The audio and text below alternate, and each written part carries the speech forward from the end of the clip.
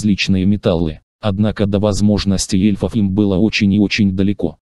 Ведь ни один из магов металла не способен наделять подконтрольные им вещи своим собственным разумом, чтобы в результате последние могли сражаться практически автономно. Естественно Джа уже слышал о способностях эльфов, но никогда прежде не видел каким образом они сражаются, так что данная битва и в самом деле очень сильно заинтересовала его. После того, как культиватор и эльф прилетели арену, то совершили две разные церемонии приветствия, но кроме этого они практически не разговаривали. Затем Джа увидел, как эльф махнул рукой, и перед ним появилась прозрачная человеческая фигура. По сути последняя состояла из воздуха и энергии, поэтому все, кто не мог чувствовать последнюю, никогда бы не заметили подобную аномалию. Джа же оказался практически полностью ошарашен всем происходящим. Он отлично чувствовал, что прозрачный человек начал яростно поглощать энергию вокруг него, и все это прекратилось лишь когда он достиг уровня обычного культиватора. Естественно глава клана Будда впервые увидел такую атаку. Это было очень и очень странно, поэтому Джа тут же начал с любопытством наблюдать за поединком. Он хотел увидеть насколько же силен этот прозрачный человек. Тем не менее техника боя культиватора также оказалась довольно странной и необычной. Все дело в том, что в качестве оружия он использовал набор нефритовых талисманов.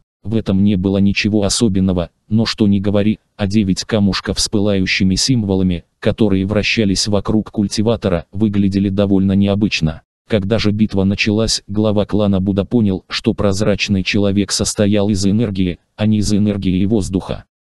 Просто он мог использовать все магические элементы. Так сразу же после начала битвы он немедленно стал серебряно-металлическим. Что же касается культиватора, то похоже, что восемь маленьких талисманов представляли собой восемь видов энергии. Небо и земля, ветер и гром, вода и вулкан, дерево и металл.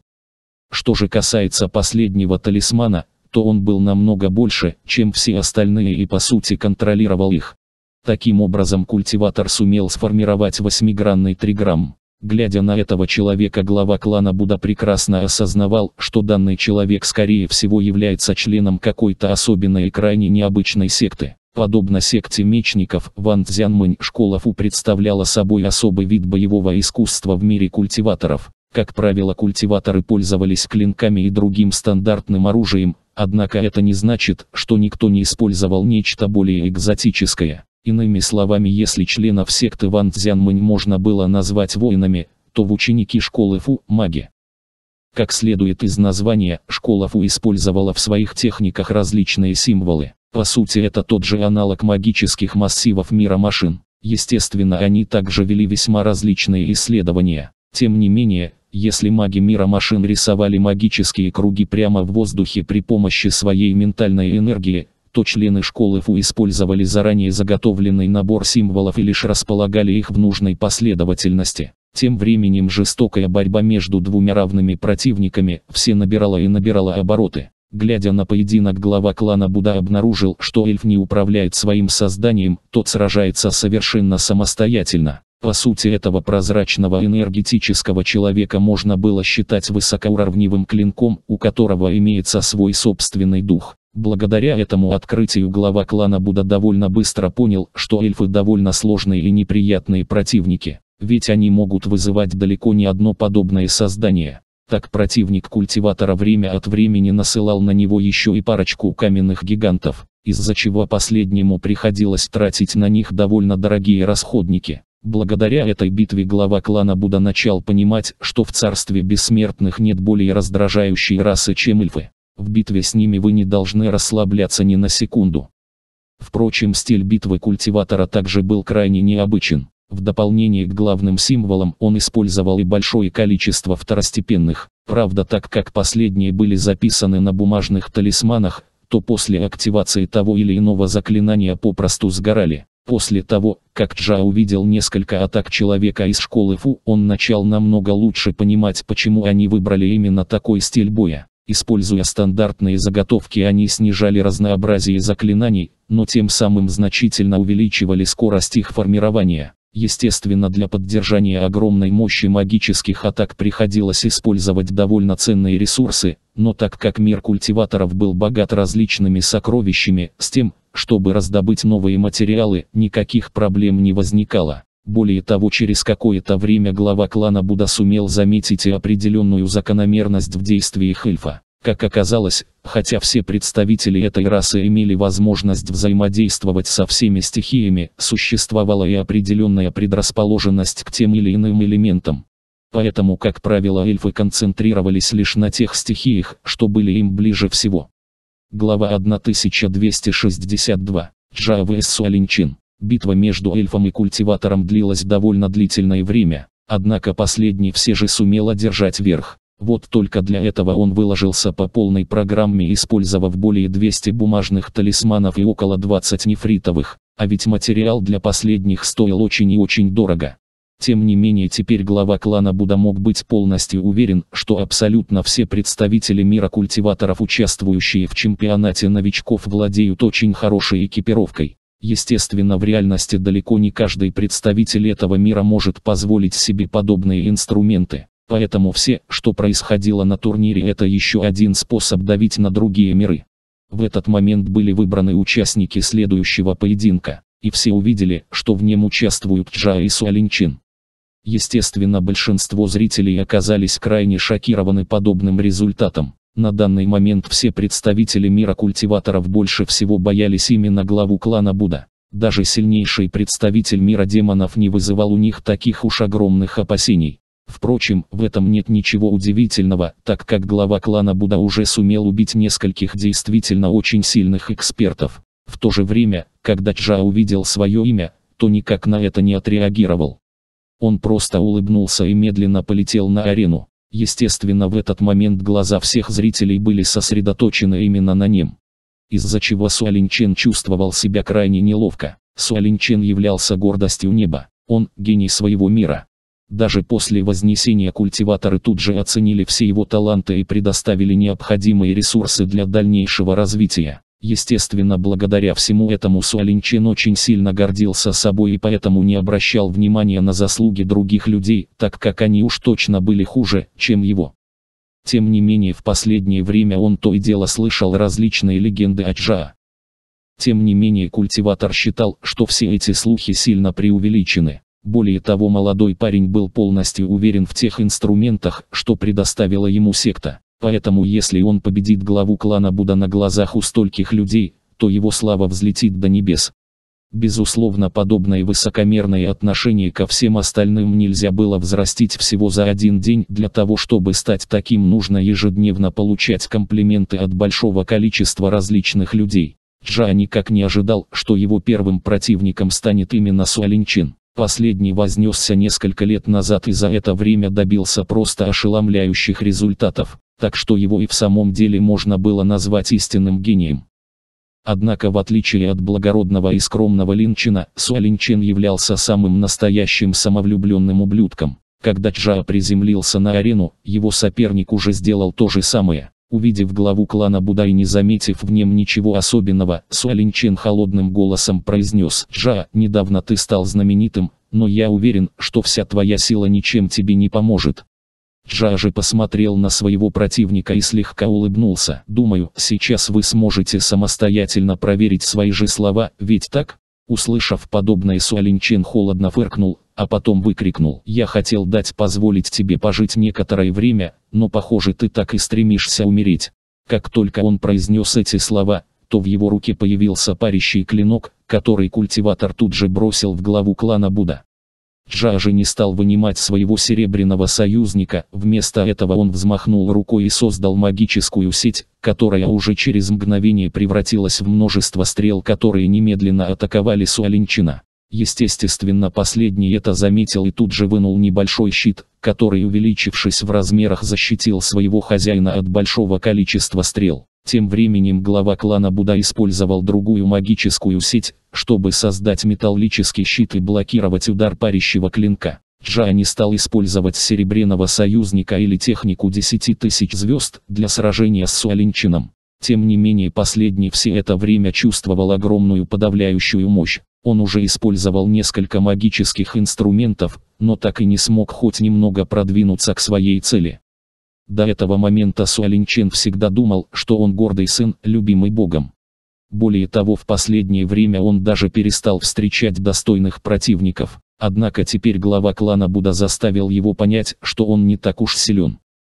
Тем временем зрители с весьма смешанными чувствами смотрели на арену. Все могли видеть, что Суалинчен и в самом деле старался изо всех сил, а его магические инструменты могли одолеть действительно могущественных противников. Однако глава клана Будда все равно превосходил его. Тем не менее через некоторое время главе клана Будда попросту надоели все эти игры. Поэтому он создал огромную магическую сеть и выпустил в сторону своего соперника огромного огненного дракона. Почувствовав необычайный импульс от этого огненного дракона, Суалинчен просто не мог не оказаться шокированным. Парящий меч все еще атаковал главу клана Будда, но в его распоряжении оставался шит, поэтому культиватор использовал его, чтобы защитить себя от огненного дракона. Более того в его арсенале имелись еще и две нефритовые таблички, которыми он все еще не пользовался.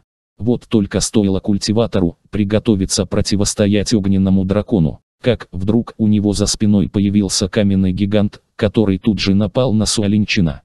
Естественно щит культиватора мгновенно среагировал и сумел уберечь своего владельца. Тем не менее от ударов каменного гиганта он начал громко трещать. Иными словами под таким напором щит не сможет сопротивляться достаточно долгое время. Однако самое главное, что из-за произошедшего Суалинчен не успел среагировать и когти огненного дракона уже неслись к нему.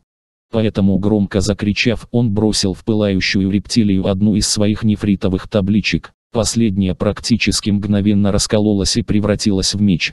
А уже через некоторое время клинок пронзил грудь огненного монстра и они оба попросту растворились в воздухе. Разумеется каждый из присутствующих знал, что дракон не настоящий и по сути является лишь магией огня с довольно причудливой формой. Тем не менее, когда в него попал клинок, пылающий монстр издал довольно громогласный вопль. Естественно все это выглядело как минимум странно, ведь так?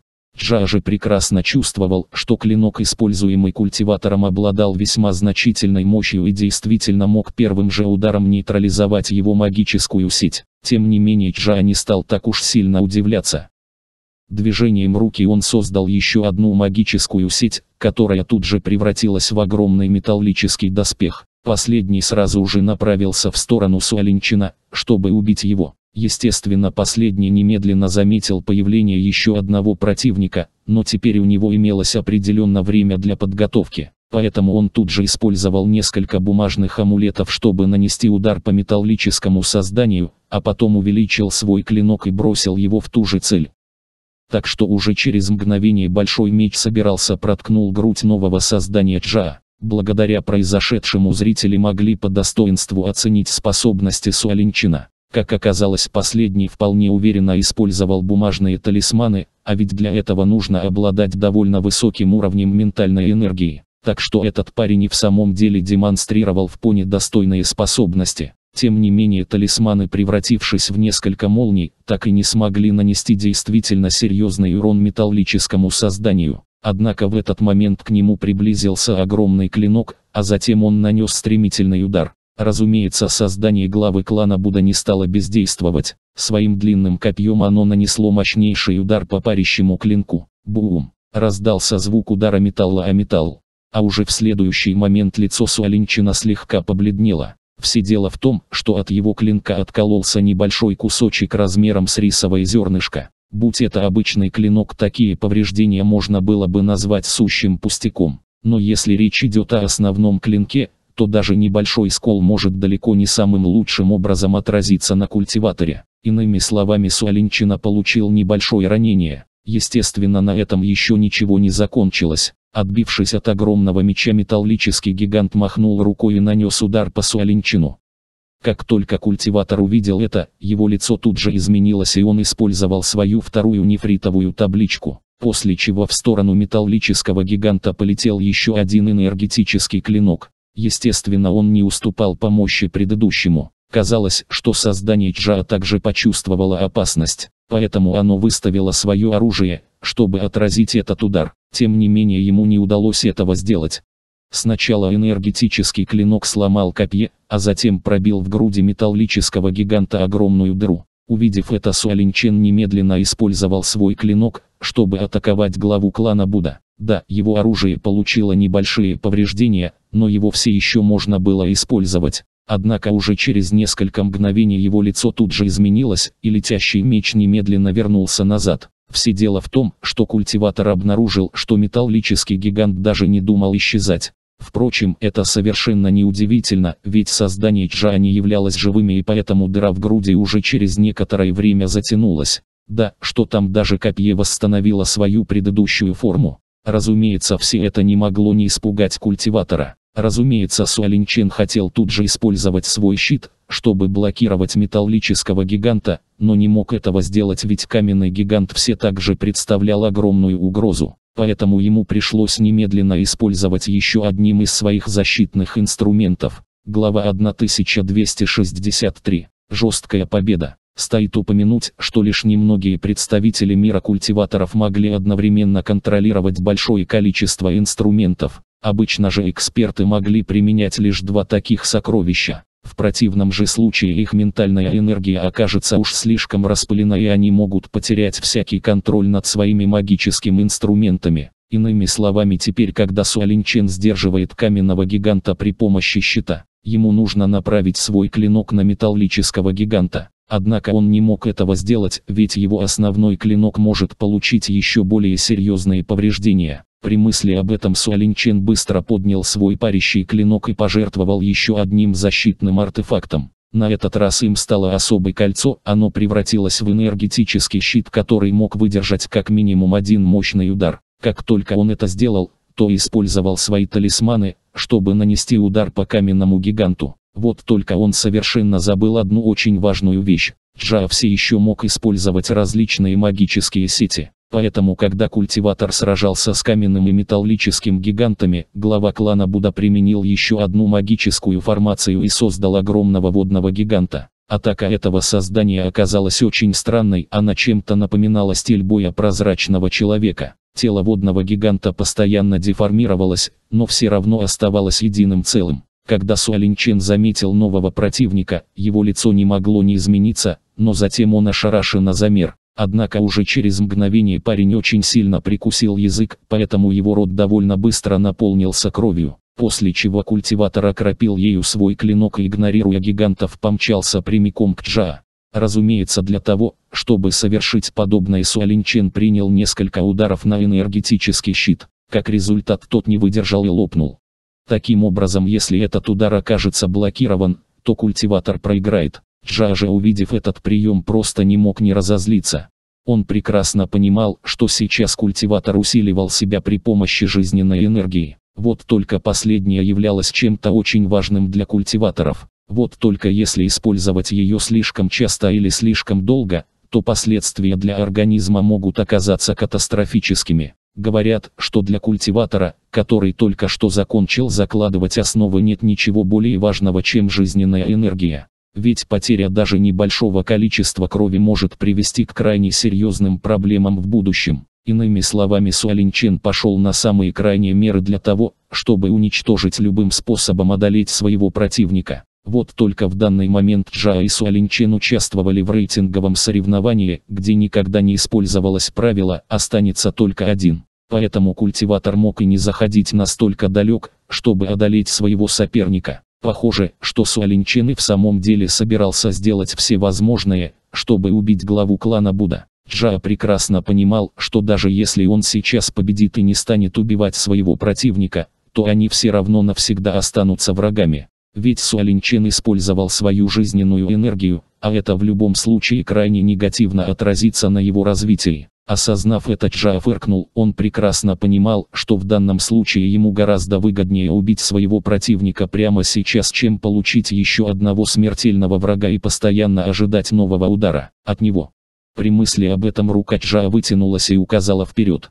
Естественно, что таким образом он использовал один из приемов метода ковки звезд. Разумеется глава клана Будда не использовал все свои силы, но этого оказалось более чем достаточно. В тот же момент клинок Суалинчен мгновенно превратился в пепел, однако на этом ударная волна не остановилась, а последовала дальше. Она вошла в тело культиватора, от которого последнее тут же яростно затряслось, а через некоторое время словно тряпичная кукла упала на землю. Суалинчен, осознавая полученные повреждения, никак не мог в это поверить. Он не думал, что Джа будет обладать настолько огромной смелостью. Да он и в самом деле использовал свою жизненную энергию, чтобы убить своего противника, но если бы это не сработало, то культиватор был готов признать поражение. Однако он никак не ожидал, что у него не будет даже шанса сделать это. Разумеется, правила рейтингового этапа чемпионата новичков не запрещали убивать своего соперника. В этом не было ничего удивительного, ведь раньше практически все 100 мест в первом туре занимали культиваторы. Поэтому по сути рейтинговый этап превращался во внутренние разборки между сектами. Однако теперь Джа, прямо перед лицом стольких культиваторов, осмелился убить одного из них. Ранее никто не осмеливался совершить подобное, ведь культиваторам ничего не стоит убить лишь недавно вознесшегося новичка, причем для этого существовало большое количество способов. Тем не менее глава клана Будда не стал на этом останавливаться. Он не только убил Суалинчен, но и затем на глазах у всех взмахнул рукой, после чего черный туман окутал тело его соперника, а уже через мгновение оно попросту исчезло. Никто из присутствующих зрителей не являлся мирным обывателем, поэтому как только они увидели, что именно сделал глава клана Будда, то сразу же поняли, что он превратил Суалинчен в нежить. Как? Вся арена тут же все громко зашумела, никто из присутствующих никогда бы не подумал, что глава клана Будда окажется настолько высокомерным. Перед лицом стольких людей из мира культиваторов он превратил одного из них в немертвого. Разумеется, подобное можно воспринимать как сильнейший удар по лицу всего мира культиваторов. Естественно, в тот же момент, когда тело исчезло, тут же прозвучал чей-то гневный голос «Да как ты посмел?». А уже в следующий момент в сторону Джа летел клинок. Правда не настоящий, а практически точно такой же, что появлялся после использования нефритовых табличек. Правда этот был намного мощнее. Однако заметив его Джа лишь фыркнул и защитил себя при помощи все еще висящего возле него металлического щита. Затем он повернулся, чтобы посмотреть кто же его использовал. Каждый из нас использовал смертельный удар, чтобы нанести решающую атаку. И не моя вина, что навыки моего соперника оказались не так уж хорошо. Или вы хотите сказать, что если бы Суалинчен сумел бы убить меня, то его тоже точно так же начали обвинять в моей смерти? Хватит нести полную чушь и прекратите мешать проведению чемпионата. Говоря эти слова глава клана Будда смотрел на человека, который только что атаковал его. Им оказался мужчина примерно 30 лет в стандартной для мира культиваторов одежде и с тонкой бородой. Похоже, что он принадлежал к той же секте, что и Суалинчин. Так что самый большой удар по авторитету получили именно они, так все его действия были не более чем попыткой восстановить свое лицо, а не реальным приступом гнева. Услышав эти слова культиватор тяжело вздохнул и произнес «Ты одержал всего лишь несколько маленьких побед, а уже настолько высокомерен. Тем не менее на время чемпионата я действительно отпущу тебя, но если мы встретимся снова то даже не думай просить о пощаде». Джа же холодно улыбнулся и ответил, буду с нетерпением ждать нашей следующей встречи. Сказав эти слова он вернулся на свое место. Благодаря этому пришествию Джа позволил людям из других миров полностью осознать его, и стоит отметить, что они увидеть ничего подобного. Тем не менее, через некоторое время зрители отметили, что изначально глава клана Будда не собирался убивать своего противника иначе он сразу же использовал эту мощь, а не выматывал Суалинчен при помощи своей магии. Вот только когда последний решил нанести смертельный удар, это разозлило Джа и он ответил точно так же. Разумеется, все присутствующие являлись весьма проницательными личностями и прекрасно понимали, что культиватор сам виноват в своей гибели. Однако это не значит, что поступок Джа их не удивил. В течение многих лет почти никто не осмеливается оспаривать величие мира культиваторов, Поэтому всем остальным приходилось попросту терпеть их высокомерие, те же кто отказывался это делать довольно быстро оказывались убитыми или покалеченными. Именно из-за этого Чжа стал первым за многие годы, кто осмелился убить культиватора на глазах у настолько огромного скопления народу. Впрочем, задумавшись, многие пришли к выводу, что глава клана Будда делал это и раньше. Сначала Джа убил Лидаста, потом пятерых культиваторов из Альянса Саншан, а затем Хилинда, старейшину того же Альянса. Вот только последний являлся ветераном мира культиваторов и очень сильным экспертом. Иными словами он был куда более важной фигурой чем Суалинчин. Поэтому в Смитре последнего по сути даже нет ничего удивительного или необычного. Когда Джа вернулся на свое место, то сразу же почувствовал, как на мне сосредоточилось множество взглядов, но его это совершенно не волновало. Марулун же посмотрел на Джа и горько улыбнулся. Честно говоря, ему бы очень хотелось, чтобы большинство экспертов мира машин вели себя точно так же, как глава клана Буда, однако у них не было сил, чтобы позволить себе нечто подобное. Что же касается остальных людей, которые прибыли с мира машин, чтобы посмотреть на соревнования, то они наоборот были крайне довольны увиденным. Ранее многие из них лишь слышали, что Джа очень и очень силен, но теперь им выпал шанс увидеть его мощь своими глазами. А тем временем турнир продолжался в первом раунде принимало участие около 40 игроков и столько же во втором. Тем не менее поскольку глава клана Буда уже выходил на арену, то теперь он мог позволить себе немного отдохнуть. Тем не менее, когда делегация мира машин вернулась в свой дом, Марулонг сразу же отправился в комнату Джа. Естественно, в помещении тут же стало довольно тесно, ведь комната была небольшой, в Марулонг пришел не один. Заметив Марулонга, Джа посмотрел на него и слегка улыбнувшись спросил, что случилось, чем обязан вашему визиту. Марулунг же посмотрел на Джа и горько улыбнулся. «Младший, на этот раз тебе не следовало заходить так далеко и убивать того культиватора. Подобное можно трактовать только как оглушительный удар по лицу всего мира культиваторов, поэтому я боюсь, что они уже не отпустят тебя». Джа в свою очередь слегка улыбнувшись ответил, «Тогда пусть приходит, я их не боюсь». Услышав безразличие в голосе главы клана Буда, Марулонг тяжело вздохнул. «Джа, я понимаю, что твоя сила действительно огромна, но все равно тебе не следует оскорблять культиваторов. В конце концов, нам ведь все равно придется вернуться в мир машин, а местные ребята осознав, что не смогут взять верх силой начнут действовать уже совершенно иными способами. К примеру ошибутся в настройках транспортного массива и нас выкинет в каком-то очень опасном место. Поверь, подобные казусы уже случались с действительно сильными экспертами из других миров. Когда Чжа услышал слова Марулонга, то оказался очень сильно ошеломлен. Неужели все это правда? Хэм, мне действительно ничего подобного даже не приходило в голову. Но лидер вам не стоит так волноваться, я пространственный маг и куда бы меня ни отправили это не помешает мне винуться обратно в мир машин. Когда глава клана Буда произнес эти слова, то уже Марулонг оказался сильно ошарашен. Он посмотрел на Джа и спросил, «Ты хочешь сказать, что можешь вернуться в мир машины без использования стационарного транспортного массива?» Подожди, тогда получается, что тебе ничего не мешает перенестись и в обратном направлении из мира машин в мир культиваторов, ведь так? Услышав эти вопросы Джа посмотрел на Марулонга, а потом слегка улыбнулся. Я не мог сделать это раньше, так как никогда не посещал мир культиваторов, но теперь когда у меня есть его координаты, мне ничего не мешает возвращаться сюда из любого другого места. То же самое можно сказать и о мире машин. Используя известные мне координаты я могу отправиться туда практически в любой момент. Когда Марулонг услышал эти слова, его глаза засверкали еще ярче. То есть, если ты побывал в какой-то местности, то сможешь вернуться туда несмотря на то насколько огромно расстояние лежит между вами? Джа же кивнул и сказал, в принципе, да. Однако существуют некоторые трудности. Если расстояние слишком велико, мне нужно очень много готовиться, да и потребление энергии возраста. Более того, чем больше людей будет путешествовать вместе со мной, тем больше сил мне придется потратить. Услышав эти слова Марулонг кивнул головой. Он верил Джа так как было бы уж слишком странно еле подобные путешествия глава клана Буда мог осуществлять по щелчку пальцев, нет подобное просто нереально. Марулонг сделав несколько кругов, повернулся к толпе и сказал, каждый из вас должен хранить в секрете то, что только что услышал.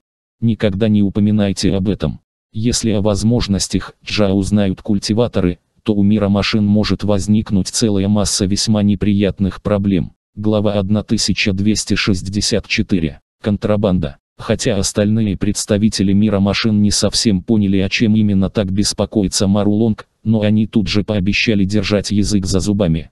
Более того за все это время проведенное вместе они подружились с главой клана Буда и поэтому не стали возражать против того, чтобы хранить в секрете услышанное. Тем временем Джа глядя на Марулонга также совершенно не понимал, почему тот настолько взволнован. Поэтому глава клана Буда просто не мог не спросить, лидер, неужели все это настолько важная информация? Марулонг же осмотрелся и понял, что важности всего этого не понимал не только Джа, но и все остальные. Поэтому он тут же произнес, естественно все это невероятно важно, причем для всего мира машин.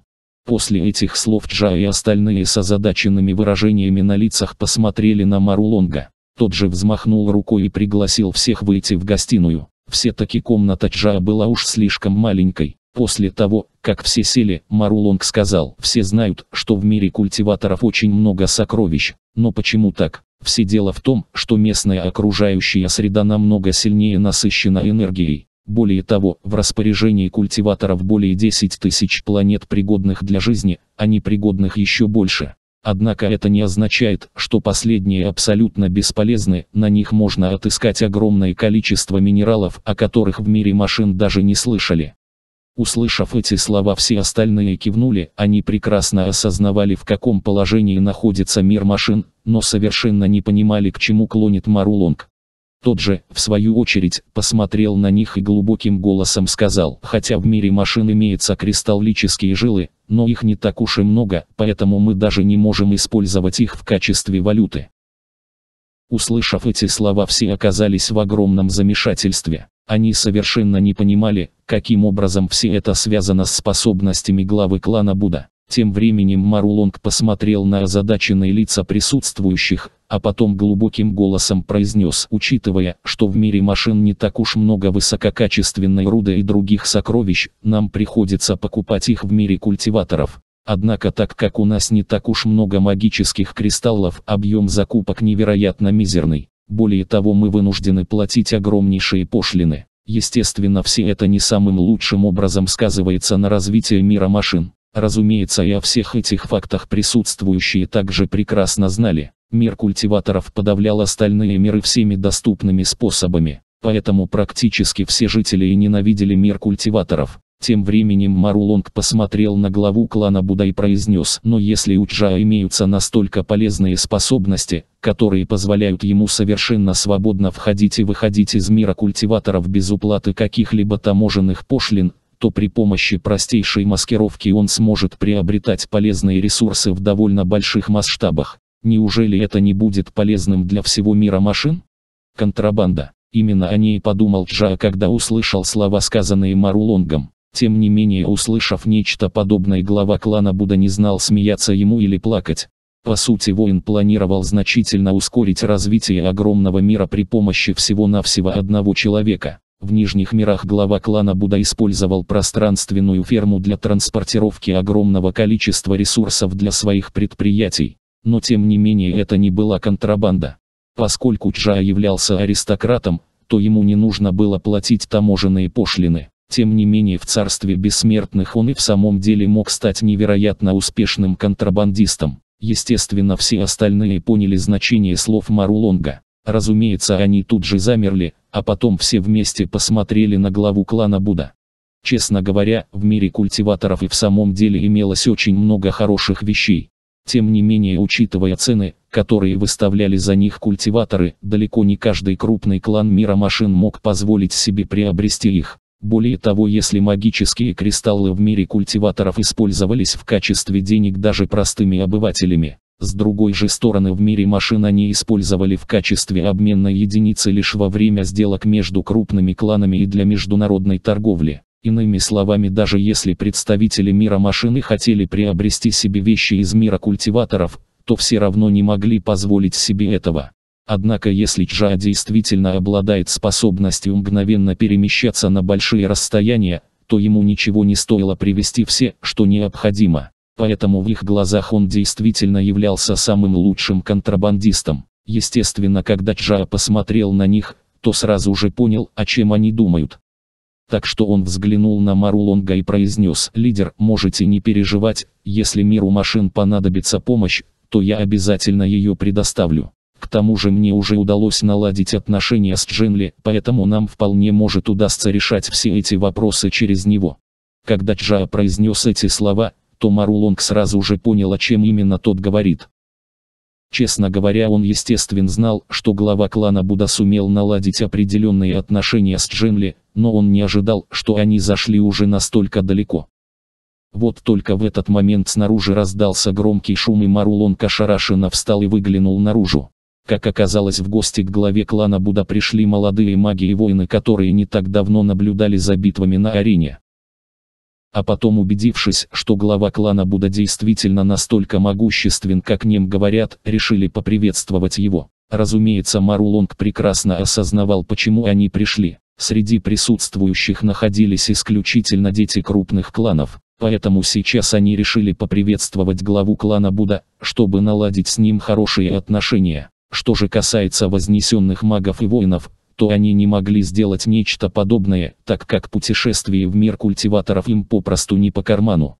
Нет, безусловно среди вознесенных также имелись довольно богатые люди, однако даже они не могли позволить себе подобные траты. Причина для этого довольно проста. За использование транспортного массива нужно было заплатить магическими камнями, а достать подобные могли исключительно члены основных кланов. Джа же оставался совершенно безразличен. Тем не менее, если в будущем он хочет и дальше развиваться в мире машин, то ему необходимо было обзавестись различными связями, так что данная ситуация была крайне полезной для него самого.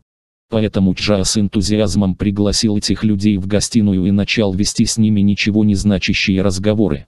Разумеется, при этом он прекрасно понимал, что все это происходило лишь по одной совершенно простой причине, глава клана Буда сумел прославиться. В противном же случае никто бы из этих людей не стал бы общаться с вознесенным, хоть и довольно могущественным. Тем не менее, текущая ситуация такова, что глава клана Буда сумел вполне успешно одолеть представителей мира культиваторов и по сути сумел стать самым настоящим героем мира машин. Поэтому все эти молодые люди прекрасно понимали, что стоит главе клана Буда вернуться домой и его слава, а также влияние еще больше возрастет. Более того со временем Джа может совершенно спокойно основать свой собственный клан. Причем против этого никто не станет возражать, ведь все ныне существующие кланы появились практически точно таким же образом. Так что с настолько сильным человеком нужно налаживать отношения уже сейчас. Именно из-за этого сегодня к Джа пришло так много людей. Являясь не самыми важными членами своих кланов, они желали рискнуть и проявить себя. Если им удастся подружиться с Джа, а тот достигнет довольно высоких результатов, то все будет просто прекрасно. Если же у них ничего не получится или эти люди провалятся, то ничего страшного не произойдет. Тем не менее, несмотря на то, что все люди, пришедшие к Джа по сути являлись коренными жителями мира машин, однако ранее их предки пришли из нижних миров. Иными словами, все гости главы клана Буда относились к кланам, которые были основаны вознесенными. Разумеется, Джа довольно быстро сориентировался в этой ситуации и сумел довольно быстро подружиться со всеми этими молодыми людьми. В этом не было ничего удивительного, так как ранее он уже попадал в подобные ситуации, когда жил в Нижних мирах. Поговорив некоторое время, Джа и эти люди немного выпили. После чего их можно было бы назвать если не друзьями, то хотя бы товарищами. Разумеется, от человека, с которым ты всего лишь некоторое время пил и ел, не стоит ожидать чего-то сверхважного. Однако намного лучше обратиться с предложением о сотрудничестве к знакомому человеку, а не какому-то незнакомцу. После того, как эти люди ушли, Джа вернулся в свою комнату и немедленно перенесся в пространственную виллу. Оказавшись там он произнес «Ну, как?» Разумеется, супруги главы клана Буда прекрасно понимали о чем именно идет речь. Все дело в том, что во время сражений на арене Джа, то и дело выпускал свои серебряные иглы и прикреплял их к различным людям. Поэтому сейчас они сумели узнать очень много интересной информации, так что Лаура кивнула, а потом произнесла. Реакция на произошедшее довольно большая, но миры монстров, духовные эльфов не стали предпринимать каких-либо действий против нас. Что же касается культиваторов и демонов, то их реакция оказалась довольно острой. Так мир культиваторов уже приказал всем своим игрокам при битве с тобой нанести смертельную рану или же и вовсе убить. В противном случае их жестоко накажут. Если же говорить о мире демонов, то сегодня они потеряли двух из трех своих игроков. Так что теперь демоны хотят использовать против тебя какой-то действительно могущественный артефакт. Услышав эти слова Джа кивнул. Его совершенно не удивила подобная реакция. Демоны и ранее уже пытались воздействовать на него. Поэтому совершенно неудивительно, что они подготовят один или два действительно мерзких артефакта. Что же касается монстров, эльфов и духов, то их представители уже выбыли из чемпионата, им было совершенно все равно какое именно место займет глава клана Буда. Так что хотя бы в этом вопросе можно вздохнуть с облегчением. Глава 1265. Великий эксперт. Джа отдыхал в помещении около 6 часов и покинул ее только потому, что второй раунд рейтинговых соревнований должен был вот-вот начаться. В этот раз глава клана Буда не участвовал, так как уже сражался в первом раунде. Тем не менее он хотел посмотреть на своих соперников, чтобы подготовиться к встрече с ними. Если говорить о мире монстров, то его населяли все расы, имеющие второй звериный облик или же чей вид в значительной степени отличался от человеческого. Так под эти критерии попадали демоны, оборотни, различные растения и тому подобное. Правда в основном его жителями являлись вознесенные магические звери или их потомки. Поднявшись в верхний мир они приобрели человеческую форму и теперь подобно драконам могли становиться похожими на людей. Если же говорить о духовном мире, то он получил свое название не из-за рас населяющих его, а благодаря особенным техникам, которые они все использовали. Так для сражений представители этого мира призывали нескольких духов и сражались при помощи них. Существует несколько способов, которыми можно создать дух. Во-первых, стандартный. К примеру люди с сильной жаждой крови превращались в темных духов, в месте, где концентрировалась магическая энергия, могли появиться духи тех или иных стихий и наконец после каких-то невероятно особенных событий рождались различные духовные сущности. Второй способ, благодаря которому появлялись духи это, путь мудрости. Достаточно сильный культиватор мог отделить от своей души небольшую частичку и превратить ее в духа. Однако подобным методом могли воспользоваться только великие эксперты мира духов. Из-за существования этих двух способов представители духовного мира разделяют духов на два вида, захваченные снаружи и духов жизни. Первые, как и вторые, внедрялись в различную экипировку, но духи жизни обладали куда большей мощью. Вот только создать их не только очень трудно, но и невероятно больно. Более того весь этот процесс очень плохо влияет на самосовершенствование. Хотя методы самосовершенствования в мире духов довольно сильно отличались, однако все они являлись невероятно могущественными. Именно благодаря этому миру культиваторов и не удалось захватить мир духов несмотря на все свое превосходство. Поскольку в мире культиваторов намного больше материалов для успешного развития, другим мирам приходилось идти на различные хитрости. Так если у мира машин это оружие при помощи которого даже простые обыватели могли ранить культиватора, то в мире духов такой особенностью являлись мощные, но крайне опасные техники. Это было похоже на то, как бедные и богатые играют в азартную игру. Так у бедного куда более сильные карты, но богатый способен задавить его благодаря постоянному подъему ставок. Именно благодаря этому открытию глава клана Буда сумел понять, что несмотря на все свои богатства мир культиваторов все же испытывает определенные проблемы. Второй раунд рейтингового этапа успешно закончился. После него стало совершенно очевидно, что культиваторы и в самом деле не желают сражаться друг с другом. Так все сражения в этом раунде больше всего походили на тренировочные поединки и очень быстро заканчивались. Именно благодаря этому угроза смерти или тяжелых травм оказалась едва ли не минимальной. Как и думал глава клана Буда после этого раунда большинство представителей иных миров выбыли из турнира и заняли места в рейтинге от 80 до 90.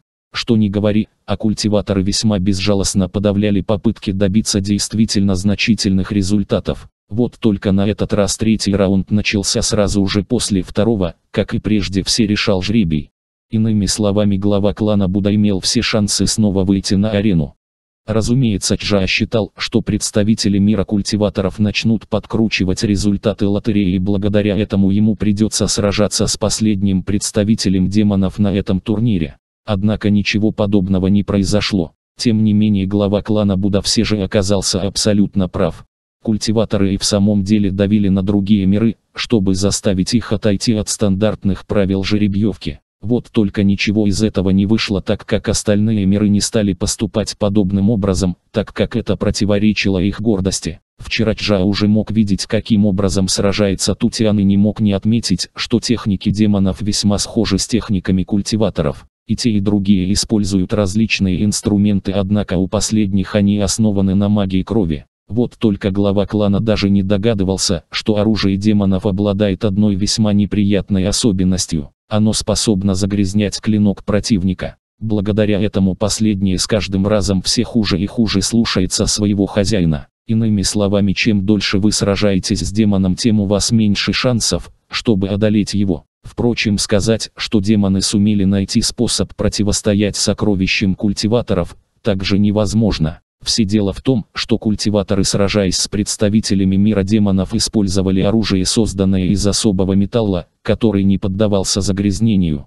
Правда, подобное оружие стоило довольно дорого. Тем не менее через некоторое время были созданы особые магические массивы, которые счищали загрязнение, таким образом страшная особенность оружия демонов оказалась практически полностью нейтрализована. Тем не менее сами по себе инструменты мира демонов ничем не уступали сокровищам мира культиваторов. Так наблюдая за сражением Тутиана глава клана Будда смог увидеть как тот использует три различных предмета. Призрачный клинок, кроваво-красный щит и черное знамя. Эти же три артефакта являлись наиболее часто используемыми экспертами из мира демонов. Мощь атаки призрачного клинка действительно очень огромна. Он вполне мог противостоять парящим мечам культиваторов. То же самое можно было сказать и о кроваво-красном щите. Его защитные способности находились на действительно высоком уровне. Что же касается черного знамени, то стоило Тутиану взмахнуть им и из него тут же появились разъяренные призраки.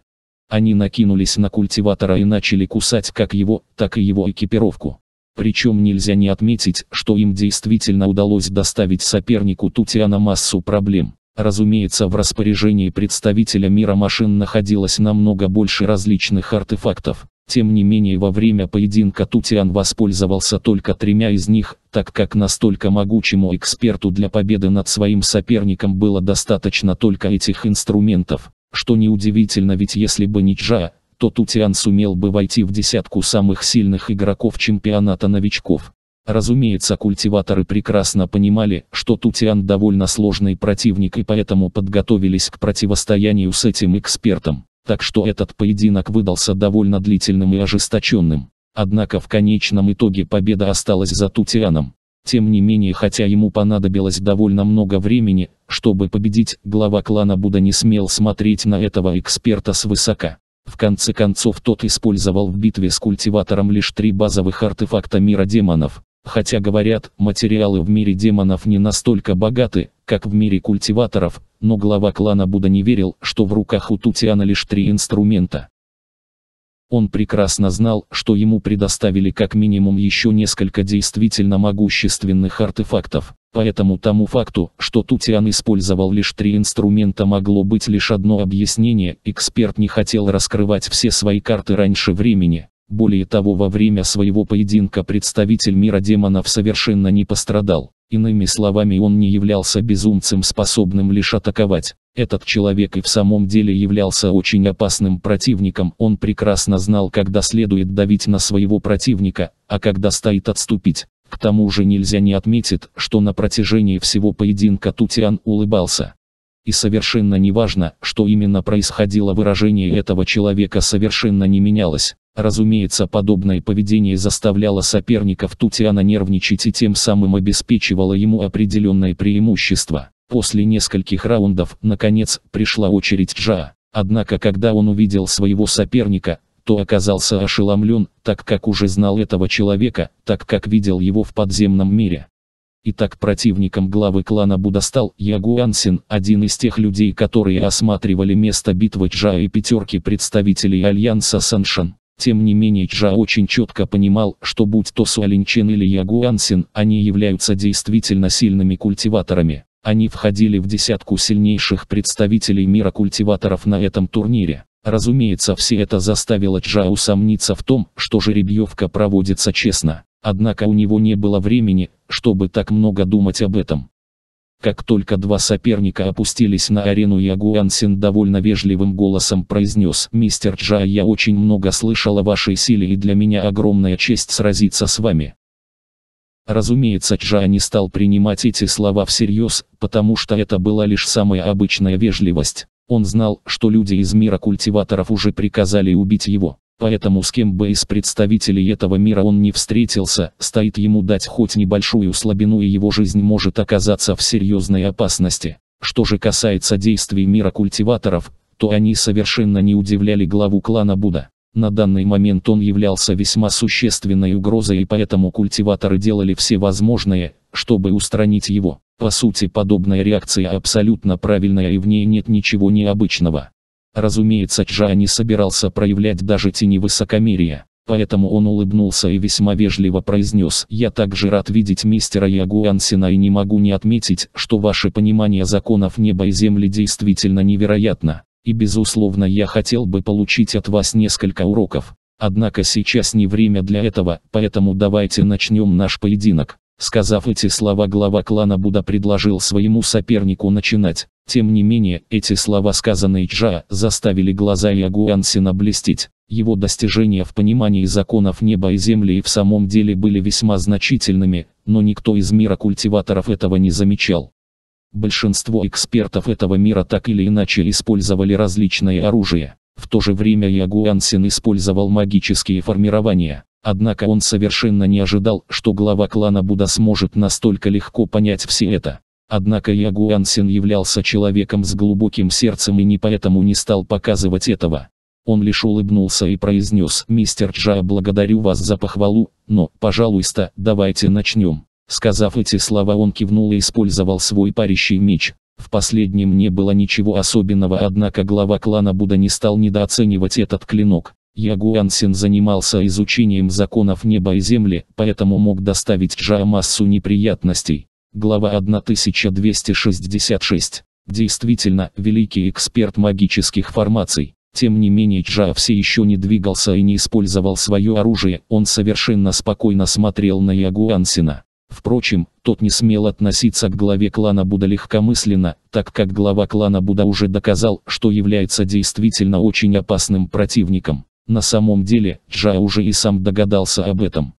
Ведь парящий меч, который использовал культиватор не являлся основным оружием. Таким образом он хотел отвлечь внимание главы клана Будда и выиграть себе время для создания магического формирования. Естественно Ягуансин не собирался сдерживаться. Он получил прямые указания от вышестоящих культиваторов и теперь должен был приложить максимум усилий для того, чтобы одолеть своего противника. Тем не менее в этой битве все будет не так уж и просто.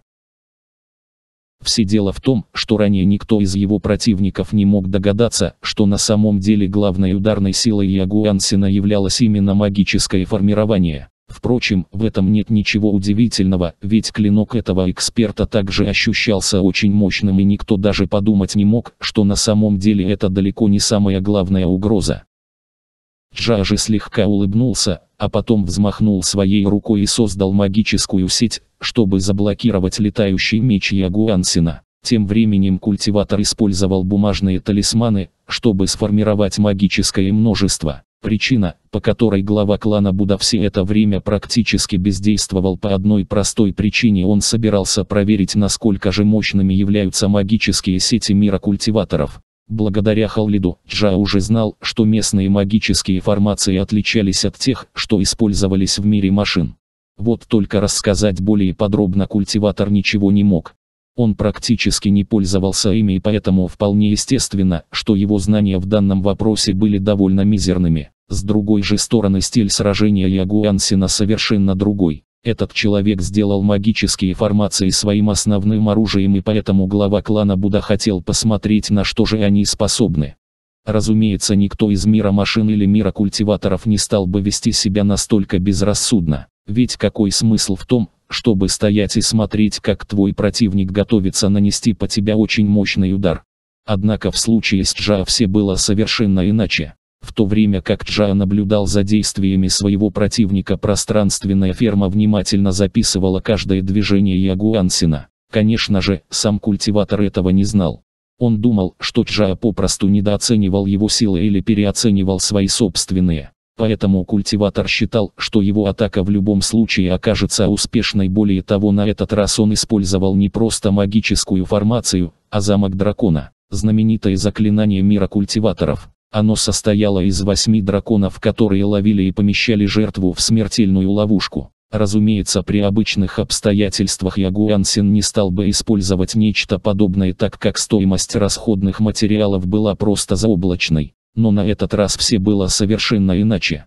Секта, к которой он принадлежал, предоставила ему все самые лучшие. Более того, благодаря высококачественным материалам мощь драконьего замка значительно возросла. Как только все талисманы оказались на своих местах, тот же сразу же почувствовал, как они исчезли, а вокруг Ягуансина начал клубиться золотистый туман. Однако уже через некоторое время раздалось мощное рычание, а потом в сторону главы клана Будда устремились восемь золотых драконов, причем двигались они довольно странно. Так если их головы находились высоко над землей, то хвосты наоборот находились под ней. Естественно магические создания взаимодействовали между собой. Иными словами к главе клана Будда приближалась огромная клетка. Разумеется Чжа глядя на все это догадался, что именно делает это магическое формирование. Поэтому глава клана Будда немедленно использовал магическую сеть, чтобы атаковать одного из драконов. Тем не менее, как только это произошло, драконы на мгновение замерли, а потом каждый из них выпустил из своей пасти золотой луч.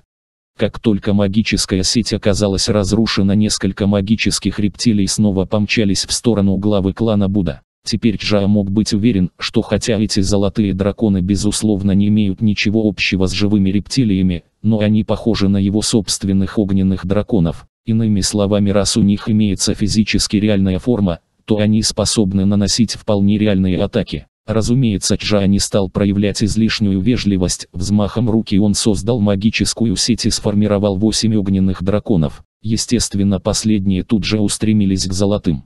Разумеется, тут же началась ожесточенная битва. Тем не менее культиватор никак не реагировал на нее. А если точнее, то так только казалось. На самом деле Ягуансин при помощи амулетов, которые на самом деле стали невидимыми, они исчезли, он контролировал своих магических созданий. Разумеется в этот момент Джа также не сидел без дела.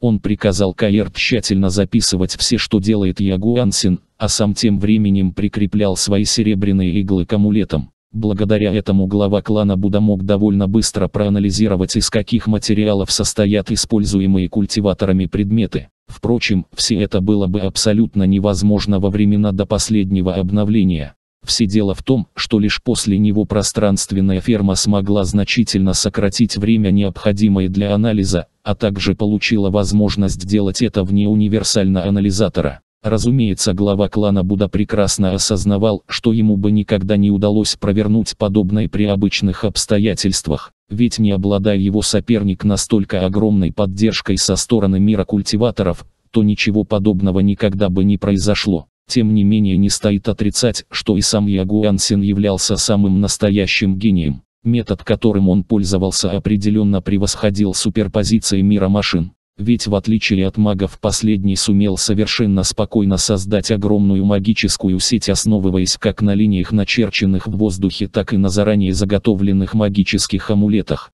Разумеется подобный подход довольно высоко оценили даже сами культиваторы. Да, он очень сильно отличался от стандартных техник их мира, однако крупные секты прекрасно понимали, что не стоит сосредотачивать все свое внимание лишь на одном пути развития. Поэтому Ягуансен сумел довольно быстро стать сначала внешним, а потом и основным учеником крупной секты. Более того ему оказывалась весьма значительная поддержка. В мире культиваторов довольно высоко ценились все способы развития своего таланта, но при условии, что они выгодны крупным сектам ведь последние старались быть как можно более самодостаточными. Иными словами они нуждались в людях способных использовать как фармакологию, так и магические формации. Впрочем, в этом не было ничего удивительного, ведь данные люди по сути являлись теми, кто продвигал технологии мира культиваторов вперед, а без подобного не могла обойтись ни одна из крупных сект.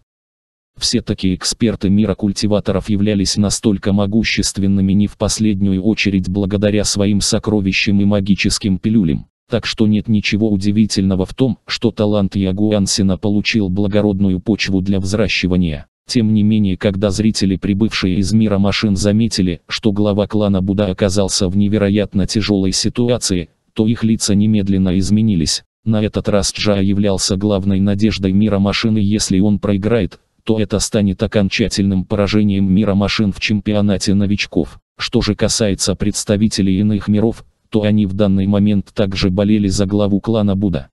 По их мнению именно он является фаворитом этого турнира и с ним может соперничать за первое место разве что Тутиан. Более того не следует забывать, что представители иных миров также очень сильно ненавидели культиваторов, а как известно враг моего врага, как минимум временный союзник, поэтому в данный момент все кроме демонов болели именно за главу клана Будда. Они надеялись, что ему все же удастся одолеть своего соперника и еще раз подорвать авторитет мира культиваторов. Однако тот факт, что Джа попал в настолько неприятную ловушку просто не мог не вызывать беспокойства. Что же касается непосредственно самих участников поединка, то Джа совершенно не боялся своего соперника. В то же время Ягуансин хотел как можно быстрее покончить со всем этим. Разумеется все это время глава клана Будда то и дело атаковал золотых драконов при помощи различных заклинаний, но на самом деле все это было не более чем ширмой. В действительности Чжа куда больше времени уделял общению с Каир и анализу структуры магической формации, которую создал его соперник. Массив созданный Ягуансины в самом деле были очень особенными.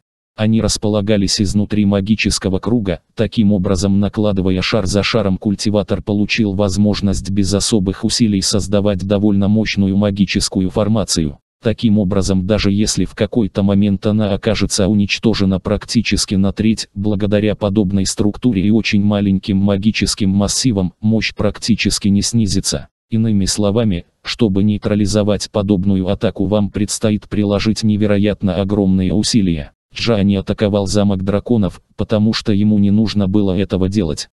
Сейчас глава клана Будда хотел проверить насколько же могущественна эта атака. Вот только если ранее для мнимых ударов по магической формации Джа использовал магические сети из 100-200 магических массивов, то для того, чтобы защитить себя от воздействия этого удара ему пришлось воспользоваться уже 700-800 магическими массивами. Поэтому совершенно неудивительно, что зрители подумали, что глава клана Бут оказался в невероятно тяжелом положении. Разумеется зрители прекрасно понимали, что как только Ягуан Сен сумеет продавить защиту главы клана Буда, то немедленно обрушит на Чжа абсолютно всю свою мощь, чтобы раз и навсегда уничтожить своего противника. Однако никто из них даже не догадывался, что все это не более чем эксперимент устроенный главой главой Буда и как только он окажется завершен, Джа прекратит весь этот спектакль и немедленно покажет все на что способен. Но почему Джа настолько сильно уверен в себе?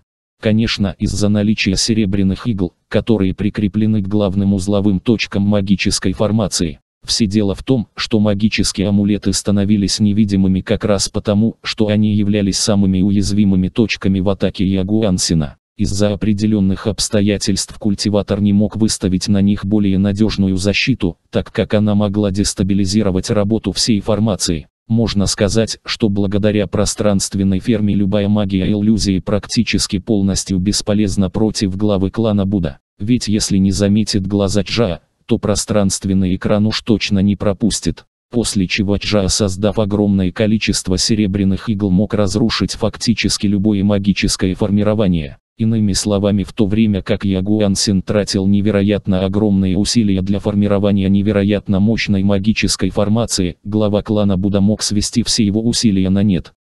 Для того ему нужно было лишь челкнуть пальцами и взорвать серебряные иглы. Тем временем все действия Ягуансина уже были детально записаны, так что Джа попросил Каэр посчитать сколько же вещей он использовал. Таким образом ему удалось узнать, что культиватор применил более сотни дешевых дорогих расходников и более 2000 дешевых. Разумеется ни один из вознесенных взлетевший менее пять лет назад не смог бы позволить себе чего-то подобного без поддержки действительно крупной силы. Что же касается Ягуансина, то он наконец мог вздохнуть с облегчением. Ему наконец удалось завершить свою магическую формацию. Стоит упомянуть, что он очень сильно переживал, что Джа не даст ему совершить что-то подобное. Однако глава клана Будда не стал даже пытаться. Глава 1267. Разрушение великой магической формации. Глава клана Будда все также стоял на месте и при помощи своих магических массивов совершенно спокойно блокировал атаку Ягуансина. Естественно все это также прекрасно демонстрировало всю его силу. Люди в мире культиваторов очень хорошо понимали методы создания магических массивов, но они предпочитали ими не пользоваться. На это существовало несколько причин, одна из которых, таким образом они могут сделать магов мира машин намного сильнее. Население их миров наблюдая за культиваторами вполне способны перенять все секреты, Впрочем, как раз из-за того, что культиваторы прекрасно знали на что именно способны магические массивы, они предпочитали не изучать их. Безусловно магические формации значительно превосходили заклинания, однако также они являлись более энергоемкими, поэтому культиваторы предпочитали отдавать преимущество хоть и не таким мощным, но более быстрым заклинаниям. Естественно у данных экспертов они служили лишь дополнительным оружием. Вот только если магические массивы настолько неэффективны, то почему культиваторы настолько хорошо разбираются в них? В этом нет ничего удивительного, главная причина заключается в страхе перед миром машин. Все дело в том, что при определенных обстоятельствах магические сети из 1000 магических массивов становились невероятно грозным оружием, от которого мог пострадать даже культиватор. Поэтому, несмотря на индивидуальную слабость, эксперты мира машин демонстрировали просто невероятную мощь в массовых сражениях. Правда, к счастью, магические сети из тысяч магических массивов из-за своей огромной энергоемкости не могли использоваться слишком часто. Тем не менее, Джа в отличие от всех остальных мог довольно легко использовать даже настолько огромные магические сети. Без каких-либо инструментов он мог мгновенно создавать нечто действительно разрушительное. Разумеется подобное не могло не удивлять даже культиваторов. Поэтому сейчас Ягуансин, глядя на главу клана Будда, прекрасно осознавал, что тот сражается не в полную силу.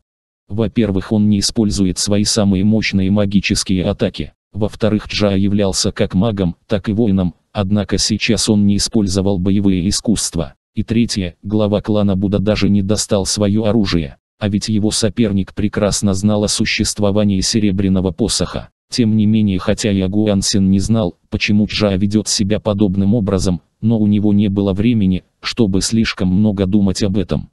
Ведь сейчас настало время, чтобы нанести решающий удар. Люди в мире культиваторов имеют некоторое понимание, как именно создаются магические формирования. Тем не менее их знания не заходили дальше определенной теории и самых обычных слухов. С другой же стороны в мире машин все было совершенно наоборот. Даже самые простые обыватели прекрасно знали, как должны работать магические сети, но у них, в основном, не хватало силы, чтобы их создать. После обмена несколькими ударами Ягуансин приблизился к самому важному моменту. Он сумел создать и удержать контроль над невероятно огромной магической формацией. Естественно это было невероятно сложно, однако культиватор прекрасно понимал, что другим способом он попросту не сможет выиграть в этом поединке. Разумеется в данный момент Джа все еще находится в ловушке, но Ягуансин был абсолютно уверен, что если он сделает хотя бы одну ошибку, то его соперник тут же сумеет вырваться. Тем не менее завершив работу над своей великой магической формацией, культиватор наконец мог вздохнуть с облегчением. Пришла пора закончить этот поединок. Джа же ничего не предпринимал, но глядя на своего соперника при помощи пространственной фермы внимательно следил за каждым его действием. Он не только совершенно не боялся Ягуансина, но и даже радовался тому, что сможет испытать атакующую мощь настолько сильного заклинания. Когда культиватор начал действовать, глава клана Будда почувствовал, что давление вокруг него резко возросло. Восемь золотых драконов начали становиться все более и более твердыми, а их атакующая сила стремительно возрастала. Теперь магические создания могли наносить удары не только когтями или дыханием, но и различными заклинаниями. Как только глава клана Будда все это понял, его глаза просто не могли не сузиться. Лишь теперь он мог в полной мере полностью оценить всю мощь этой ловушки.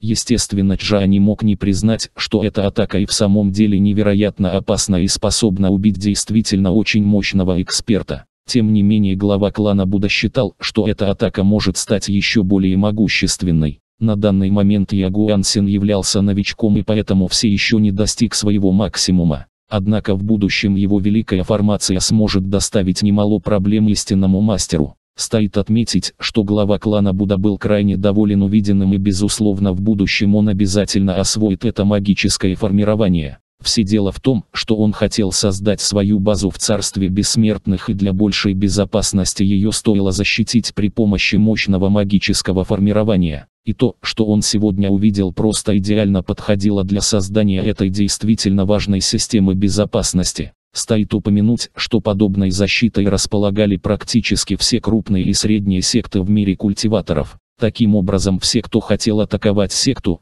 то первой преградой на пути нападающих станет именно великая магическая формация. С другой же стороны мир машин пока не мог похвастаться чем-то подобным, так как маги никак не могли решить проблему слишком огромного энергопотребления. Тем не менее вполне естественно, что подобные защитные магические массивы хранились в невероятно страшной тайне, а любой кто осмелится их раскрыть будет убит как самый мерзкий предатель. Поэтому не имея возможности собрать достаточно огромное количество информации глава клана Будда был вынужден использовать этот невероятно глупый способ, чтобы проанализировать магические формации которые использовались в мире культиваторов. Разумеется было бы гораздо проще попросту убить Ягуансина, а потом превратив в нежить заставить рассказать все, что он знает. Но если глава клана Будда пойдет подобным путем, то на этот раз культиваторы, наблюдающие за сражением уж точно попросту оторвут ему голову. Поэтому взвесив все за и против, Джа решил не трогать Ягуансина. Если он такими же темпами продолжит злить секты мира культиваторов, то может вызвать новую войну между мирами. Однако как бы там ни было, а пришло время закончить этот поединок. Поэтому когда Каэр сообщила, что уже собрала все необходимые данные, глава клана Буда решил, что настала пора действовать и у него в руке появился серебряный союзник. Когда Ягуансин увидел, как Джа, наконец, достал свой посох, то не мог не занервничать и поэтому немедленно перешел в жесткое наступление. Однако в этот же момент он, внезапно, почувствовал, что совершенно бессилен. Естественно лицо культиватора не могло не измениться. Поэтому он немедленно достал горсть лекарств и бросил их в свой рот, чтобы быстро восстановить свои силы. Тем не менее в этот момент Джа, воспользовавшись своим магическим посохом, начал создавать свое собственное формирование. Его размер оказался не слишком большим, но от количества маленьких массивов у любого эксперта начала бы болеть голова а уже через мгновение произошла невероятно яркая вспышка, которая в буквальном смысле заставила всех присутствующих закрыть глаза, а тех, кто не успел этого сделать, попросту ослепила. Когда же зрители снова смогли видеть, то не могли не удивиться. Так Джа одержал свой клинок у шеи Ягуансина, а используемое культиватором магическое формирование было полностью уничтожено. Разумеется все оказались крайне шокированы увиденным. Они не думали, что магический массив, который использовал Джа будет иметь настолько огромную разрушительную мощь. Тем не менее все это было лишь самой обычной иллюзией. Используемая главой клана Будда формация должна была лишь ослепить всех присутствующих. С другой же стороны настоящий удар по магической сети Ягуансина нанесли заранее приготовленные серебряные иглы. Так что все, что произошло на арене было лишь хорошо срежиссированные спектаклем. Тем временем глава клана Буда глядя на своего противника, горько улыбнулся и глубоким голосом произнес «Мистер Ягуансин не могли бы вы признать свое поражение?» Культиватор в свою очередь посмотрел на Джа, а потом он слегка улыбнулся и сказал «Ваша формация оказалась намного сильнее, поэтому я признаю поражение». Как только прозвучали эти слова, тело главы клана Буда вспыхнуло и он немедленно вернулся на свое место. Разумеется, как только это произошло, зрители, прибывшие из мира культиваторов и мира демонов, испытали огромное разочарование. Они не думали, что все произойдет настолько быстро. Ягуансин доминировал над своим соперником в течение всего поединка, поэтому многие поверили, что Джа проиграет этот бой. Однако в последний момент все перевернулось с ног на голову. Изначально большинство культиваторов даже отказывались верить в увиденное. По их мнению Ягуансин практически одержал победу, но потом Джа всего лишь одним ударом сумел вырвать ее. Причем больше всего их удивляла мощь использованной им магической формации. Вернувшись на свое место глава клана Буда почувствовал как на него смотрит тысячи холодных глаз. Тем не менее ему было абсолютно все равно, он лишь слегка улыбнулся и сел возле Марулонга. Тот же в свою очередь прошептал, «Жа, ты ведь намеренно позволил ему закончить формировать магическую сеть?» Услышав подобный вопрос глава клана Буда кивнул и слегка улыбнулся. «Все верно, я хотел проверить, насколько же она сильна. И стоит отметить, что ее мощь в самом деле огромна, а ведь Ягуансен все еще не достиг пика своей силы. Думаю, если бы он был немного могущественнее, то мне не удалось бы просто так выбраться, а пришлось бы сильно попотеть, чтобы сломать магическое формирование. Кажется, что магические массивы мира культиваторов и в самом деле очень хороши. Услышав подобное Марулонг, просто не мог удержаться от улыбки. Младший у тебя и в самом деле очень много мужества, но не стоит так сильно рисковать. В конце концов тебя ждет довольно успешное будущее, так что не стоит настолько безрассудно влипать в неприятности. Джа в свою очередь лишь улыбнулся и кивнул. А тем временем появились результаты жеребьевки для нового раунда. Вот только холодные глаза культиваторов все так же продолжали смотреть на Джа. Глава 1268. Пролитая кровь в праведном деле, тыквенная бутылка и громень. На самом деле, людей из мира культиваторов интересовали лишь поединки главы клана Будайтутиана. Что же касается всех остальных участников, то по сути их сражение не более чем мелкая возня крупных сект. Поэтому сейчас они смотрели на главу клана Буда, а не на арену. Благодаря предыдущему поединку и огромной магической формации, созданной Ягуансином, культиваторы сумели узнать очень много нового о возможностях главы клана Буда. Естественно никто из них не смог бы рассказать абсолютно все о используемых магических массивах, но их знаний было более чем достаточно, чтобы сделать выводы из произошедшего. Поэтому хотя эксперты мира культиваторов и не могли оценить все изящества магической формации Ягуансина, но это не значит, что они не видели его огромной мощи. Тем не менее Чжа сумел практически моментально создать нечто еще более мощное и нейтрализовать заклинание своего соперника. Иными словами культиваторам необходимо первым делом переоценить мощь главы клана Будда. Более того чем-то подобным занимались не только они, но и представители мира демонов. Их мир желал проглотить мир машин, чтобы решить некоторые из своих проблем. Поэтому в первую очередь демоны желали нанести моральный удар по жителям мира машин, а для этого им необходимо уничтожить главу клана Будда, который являлся героем мира машин. К этому моменту они уже совершили несколько попыток, но ни одна из них не достигла успеха. Тем не менее считая, что глава клана Будда не знает о их планах, демоны намеревались нанести еще несколько смертоносных ударов. Если им удастся совершить задуманное, то захват мира машин пройдет намного проще. Таким образом демоны сумеют решить все свои проблемы с простыми обывателями. Но когда эксперты мира демонов узнали, что проблема гораздо больше, чем они себе представляли, а затраты на ее уничтожение оказались далеко за пределами их воображения, то оказалось, что цена во много раз превышает будущую выгоду. Естественно подобное заставляло задуматься. В секторе мира демонов сидел весьма важный человек, он являлся одним из лидеров мира демонов, а также старейшиной секты священной крови. В этом не было ничего удивительного, ведь главным игроком мира демонов был Тутиан, который также принадлежал к этой секте. Поэтому совершенно нормально, что лидером представителей мира демонов являлся старейшина секты священной крови. Естественно помимо лидеров в секторе мира демонов сидели и другие люди. Они исполняли роль охранников Тутиана, а также являлись главами внешних лагерей секты священной крови. Если говорить о лидере, то его звали Джонкли, однако куда больше людей слышали о его прозвище «Кровавое море».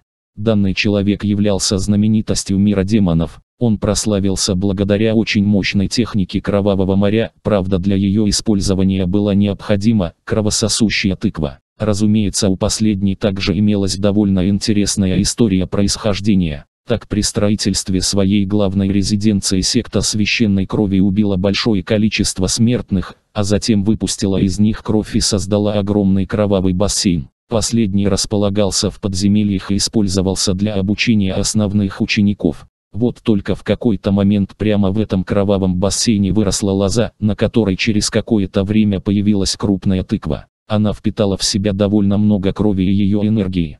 Таким образом получилось весьма полезное хранилище. Однако следующую такую тыкву лоза предоставила только через сто лет.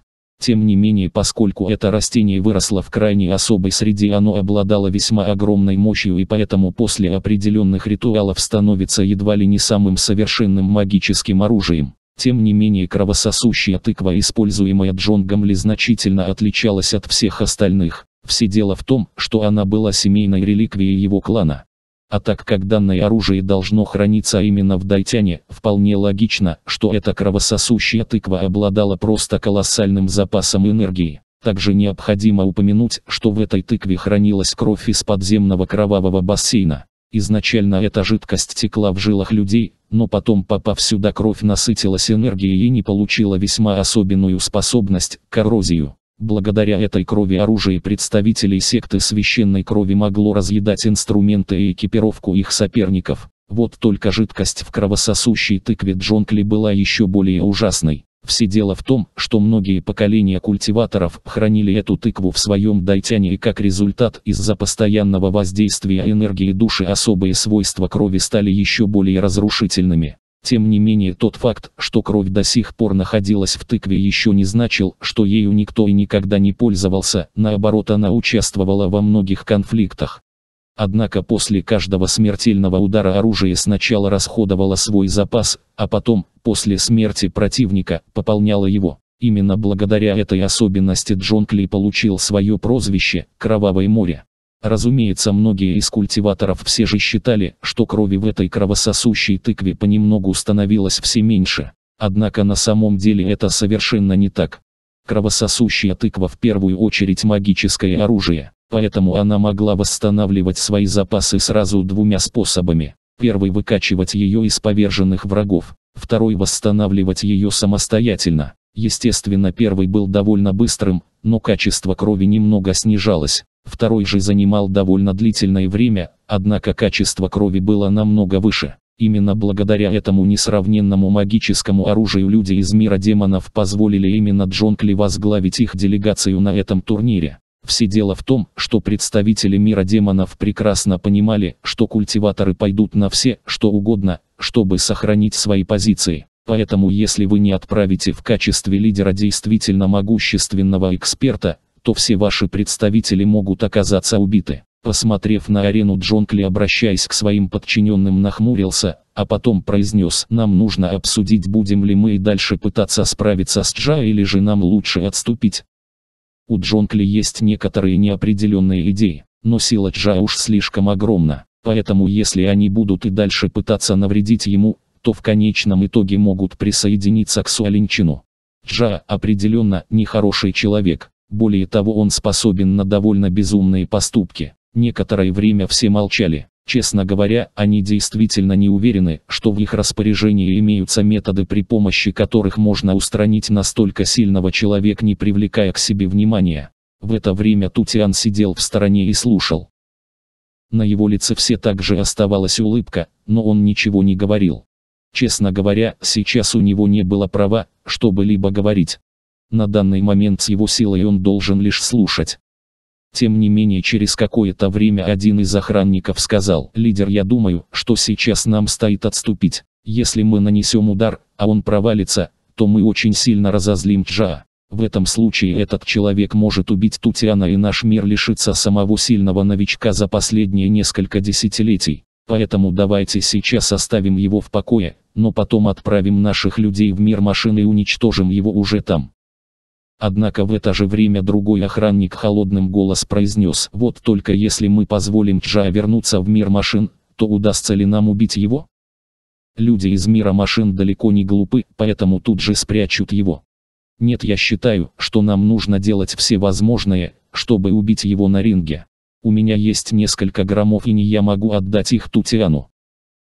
Думаю даже если он их использует и не достигнет успеха ничего страшного не произойдет. Ведь Джа решил убить Суалинчина лишь после того, как понял, что тот уже нанес вред самому себе и в любом случае станет его смертельным врагом. Громинь очень злобное оружие, используемое миром демонов. Этот вид инструмента очень похож на нефритовые таблички культиваторов, но обладает куда большей мощью. Таким образом он способен убить даже очень сильного эксперта. Более того его скорость настолько огромная, что этот инструмент можно по праву считать абсолютным смертельным оружием. Тем не менее, громинь очень сложно сделать. Во-первых, вам необходима особая окружающая среда. Во-вторых, довольно ценные материалы. В-третьих, после изготовления оболочки на ней нужно выгравировать довольно сложные магические массивы. И в-четвертых, для заполнения этого оружия вам необходима особенная зараженная энергией, кровь. Тем не менее самым трудным и не менее важным являлся пятый шаг, а именно размещение в оружии особой молнии Все дело в том, что достать ее невероятно сложно, можно сказать практически невозможно, в этом нет ничего удивительного. Все дело в том, что молнии возникающие в обычных обстоятельствах будут содержать энергию янь, Иными словами электричество, даже само по себе очень плохо сочетается с энергией инь. Поэтому для того, чтобы достать молнию инь вам необходимо соблюсти ряд довольно требовательных условий. Именно из-за такого рода условий гром инь являлся довольно редким артефактом даже для мира демонов. Поэтому обычно подобное оружие использовалось для того, чтобы сдерживать противника. Так если в вашем распоряжении имеется 35 граммов инь, то даже крупная секта мира демонов не решится беспокоить вас. Поэтому когда этот мужчина сказал, что у него в руке имелось несколько граммов инь, то тут же вынул их, чтобы доказать правдивость своих слов. Естественно в этот момент все взгляды сосредоточились именно на нем. Положив угольно-черный шар на землю, размер которого не превышал грецкий орех, он произнес «У меня есть семь таких». Но если хочешь разобраться с Джа, тогда возьми все.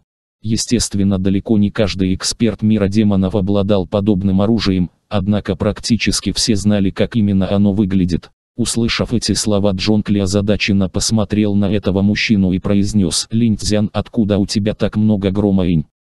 Неужели тебе удалось найти способ создавать их?» Вот только Линьцзян горько улыбнулся и ответил «К сожалению нет». Некоторое время назад я отправился на поиски редких растений и нашел их в пещере на голубой звезде или точнее нашел скелет культиватора в пространственном кольце которого лежали эти инструменты. Вот только кем был этот человек и как там оказался мне неизвестно. Как только Лин Цзян сказал эти слова, Джон Кли мог лишь пожаловаться на свою удачу. Тем не менее, как бы он не хотел убить главу клана Буда, однако окончательное решение должен был принять не он. Поэтому Джон Кли спросил, Тутиан, что скажешь, ты сможешь убить Джа при помощи этих артефактов? Услышав этот вопрос молодой парень улыбнулся и сказал, «Старейшина можете быть уверены, я обязательно разберусь с Джа. Но прежде всего мне хотелось бы поблагодарить дядю Линдзяна за это оружие». Как только прозвучали эти слова Линдзян кивнул головой и сказал, «Я надеюсь, что ты сможешь использовать этот громынь, чтобы уничтожить Джа. Этот парень слишком опасен и в будущем он станет огромной угрозой для всего нашего мира». Услышав это Джон Кли кивнул, а потом произнес, если мы позволим Джа беспрепятственно вернуться в мир машин, то потом совладать с ним будет намного сложнее. Не стоит забывать, что он вознесся всего год назад и со временем будет становиться лишь все сильнее. После этих слов никто ничего не сказал. Тутиан забрал семь черных шаров и после этого все представители мира демонов продолжили наблюдать за поединками на арене. Глава 1269 трое сильнейших. Вот только никто из них даже не догадывался, что глава клана Буда прекрасно слышал весь этот разговор, и теперь Громин не станет для него сюрпризом. Услышав рассказ Лауры и узнав, что люди из мира культиваторов хотят его убить, глава клана Буда тяжело вздохнул. Поскольку его соперники хотят первыми нанести удар, ему уж точно не следует быть уж слишком вежливым. Более того смерть Тутиана ничего не изменит, так как мир демонов уже желает устранить его. Причина, по которой глава клана Буда ведет себя подобным образом заключалась в довольно странном открытии. Как оказалось будь то мир демонов или мир культиваторов, если секте нанес оскорбление один из новичков, то охота за ним велась лишь до определенного момента. Иными словами если риск потерять кого-то помимо не слишком важных членов оказывался слишком велик, то попытки прямого устранения немедленно прекращались и оскорбившего оставляли в покое, до тех пор пока не появится более подходящая возможность избавиться от него.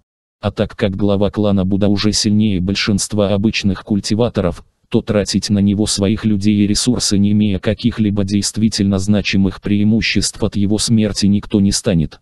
Стоит упомянуть, что стать истинным мастером невероятно сложная задача. Тем не менее все молодые эксперты стремятся достигнуть этого, ведь после прохождения достаточно узкого места их жизнь начинает становиться значительно лучше, перед ними открывается огромное количество дверей, тем немногие так до конца жизни и остаются молодыми мастерами, именно поэтому истинные мастера предпочитают не рисковать. Они практически никогда не берутся за действительно опасные задания, о первых признаках проигрыша немедленно отступают, так что в полную силу подобные люди сражаются лишь в том случае, если их секте угрожает смертельная опасность. Поэтому ни один из истинных мастеров не станет рисковать всем, чтобы уничтожить молодого эксперта. Более того в большинстве случаев подобные люди то и дело занимаются закрытыми тренировками и встретиться с ними могут разве, что главы сект. А вот простые культиваторы не имеют ни шанса даже просто посмотреть на действительно могущественных экспертов.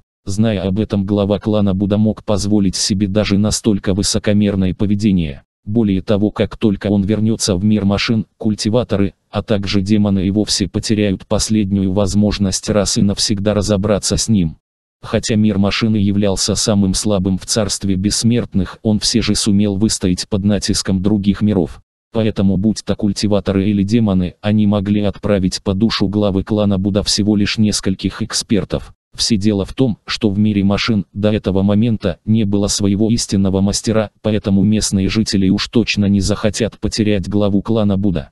Разумеется Джонкли и остальные представители мира демонов тоже прекрасно это понимали и поэтому хотели его, чтобы это не стало разобраться с Джа уже сейчас.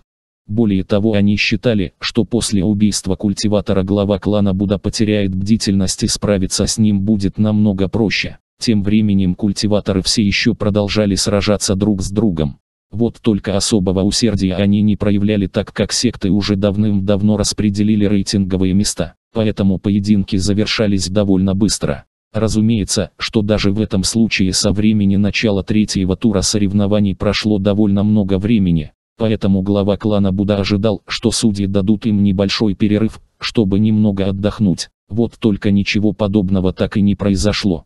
В соревновании участвовало лишь 24 человека, иными словами 12 поединков. На этот раз соперником Джа стал весьма известный мастером из мира культиваторов, он и в самом деле являлся довольно могущественным экспертом, но благодаря своей универсальности глава клана Будда все же сумел выйти победителем из этого противостояния. Тутиан также сумел войти в 12 лучших, его оппонентом оказался один из десятки лучших культиваторов, Цинчжан.